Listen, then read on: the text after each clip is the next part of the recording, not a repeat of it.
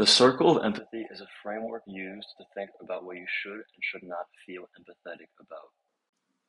You draw a circle around yourself, and what is inside is more like you and deserves empathy, while stuff outside of the circle does not. The question is, where should you draw the line? While a random rock should not be in the circle, what about Stonehenge? Which animals should or shouldn't be in the circle of empathy? Here's the issue.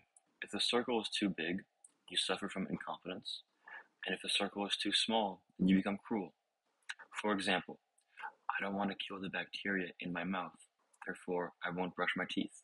That's incompetent. As time goes on, our circle of empathy usually widens. How big is your circle of empathy, and where do you draw the line?